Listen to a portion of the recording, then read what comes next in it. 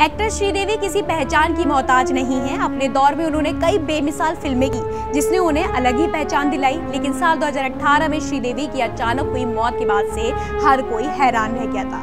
हर कोई बस ये जानने के लिए बेताब था कि आखिर उनका निधन कैसे हुआ। तो अब पाँच साल बाद इस रात से पर्दा उठ गया है और फ़िल्म मेकर बोनी कपूर ने खुद श्रीदेवी के निधन का कारण जग ज़ाहिर किया है। वैसे तो ये पाँच साल कपूर परिवार के लिए कितने मुश्किल भरे हैं? ये बोनी कपूर और उनकी दोनों बेटियाँ जानवी और खुशी से बेहतर कौन जान सकता है?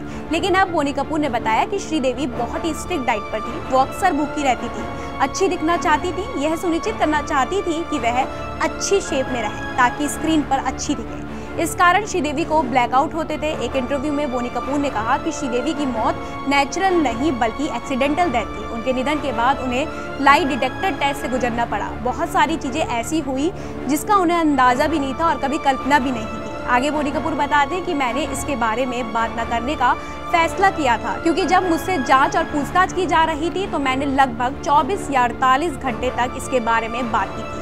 बल्कि अधिकारियों ने कहा कि हमें ऐसा इसलिए करना पड़ रहा है क्योंकि भारतीय मीडिया का बहुत ज़्यादा दबाव था और उन्हें पता चला कि इसमें कोई बेमानी नहीं थी।